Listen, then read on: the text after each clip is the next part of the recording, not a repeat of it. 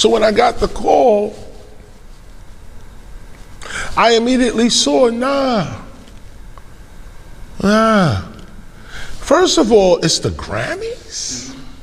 You get no respect here. None. None. You have no respect here. Now, we respect your existence. We know you exist. and we know that you you're the Grammys. We understand that. And we respect that. Your existence. But you ignored hip hop for 49 years. At the 50th year, you want to call us? 49 years you ignored us. The 50th year, that's when you call. You couldn't even call on 47 and gear it up to at least 50, okay? At least get us into 47. No. You wait till the 40, you wait till the 50th year to want to call hip hop's authentic teacher? Nah, you don't get that privilege. I refuse to show up. Y'all go ahead and play games with yourselves. The last part that I did see of, of this thing, and I, I, I haven't seen the show, so I can't judge everything. But, you know,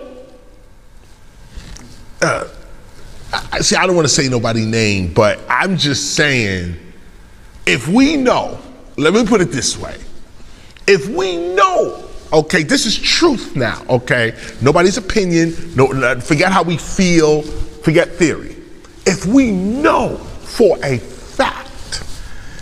that hip hop is breaking, MCing, graffiti art, and DJing. Now we can argue these other ones, but we know for certain that what we call hip hop is breaking MC and graffiti art DJing. We know that. We've all decided on that. We've all agreed on that. Books are written, documentaries are done. We all know this. So, what is all this other stuff? Like what what is what is this other stuff that you're calling hip hop? Uh, that's not hip hop. So if you're going to do a hip hop 50th anniversary and you're going to call hip hop to it, you have to have hip hop there. Hip hop was not there. Rappers were there. Very respected rappers were there. But it wasn't hip hop. Because hip hop would have got on that mic and said, fuck the Grammys. You dissed us for 49 years now. You that would have been in a rhyme. You motherfuckers are corny. we had that shit going in a freestyle if that was real hip hop.